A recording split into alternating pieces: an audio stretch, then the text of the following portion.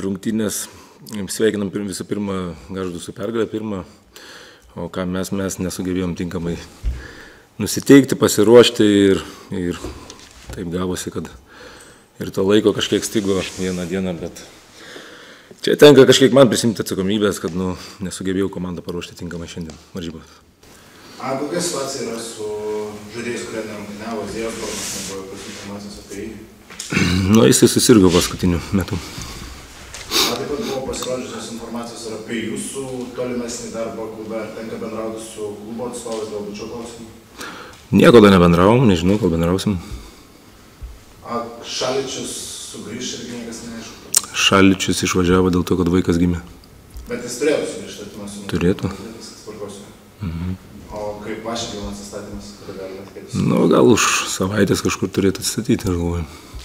A, galbūt galėtumėt plačiau pakomentuoti Justino Jogmano situaciją. Žaidėjas kaip ir yra tarsi su komanda, bet nematome jo rungtyniaujančio. Nenoriu šitas kompe- konspiracijos teorijas kažkur eiti, ten dar šnekėti kažką daugiau, esu vieną kartą jau pasakęs apie tai.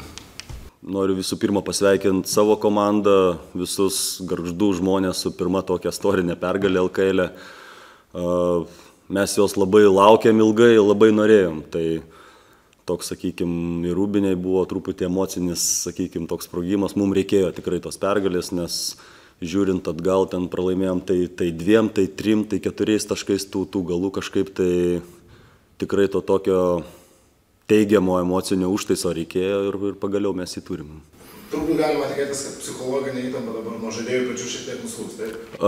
Be abejo, be abejo, nes a, buvo tokie atsiradę, sakykime, kad gal sprendimuose kažkur kažką galiu, kažko negaliu, dabar iš tikrųjų patikėjo turbūt žaidėjai, kad tikrai gali, kad reikia, reikia atsipalaiduoti, kad reikia mėgautis krepšiniu visų pirma polime ir sunkiai dirbti gynyboje.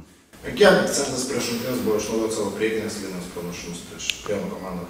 A, Na, buvo iš tikrųjų šiek tiek jo, bet, bet labai to tokio didelio akcento nebuvo, nes a, jautėm, kad galim ir perimetre kažką tai nuveikti iš tikrųjų, bet jo, ten ypatingai džiaugiuosi Gedriaus ir, ir, ir Šarūno pagaliau, sakykim, taip užtikrintom rungtynėm ir, ir stengiamės maitintais kamuoliais. Koris Andersas paliko jo komandą, ieškosit kažko vietoje.